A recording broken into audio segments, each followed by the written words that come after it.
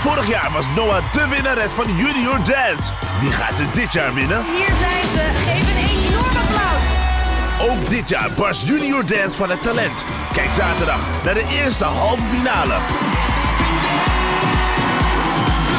Wie wordt de winnaar van Junior Dance? De eerste halve finale. Zaterdag live op ZEP.